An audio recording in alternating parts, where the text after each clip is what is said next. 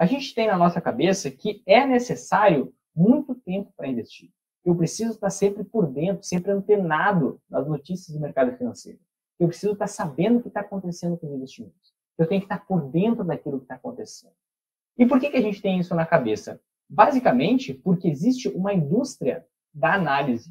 Então, faz parte, por causa de todo esse contexto, de toda a mídia por trás nos mostrando ou querendo nos mostrar que é complexo demais investir, isso é coisa para especialista, isso é coisa somente para os bancos, para as corretoras, para os fundos de investimento, o que acontece? A gente começa a crer cada vez mais que eu preciso ter muito tempo para investir, eu preciso acompanhar as notícias do mercado financeiro. Por quê? Porque é muito complexo, é muito complicado. Alguém, alguém tem que estar é, dedicado ali 24 horas por dia para eu conseguir investir bem o meu dinheiro.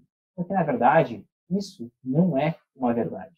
E, e, querendo ou não, essa indústria, uma das premissas dela, ela quer te fazer crer que tu precisa de muito tempo para investir.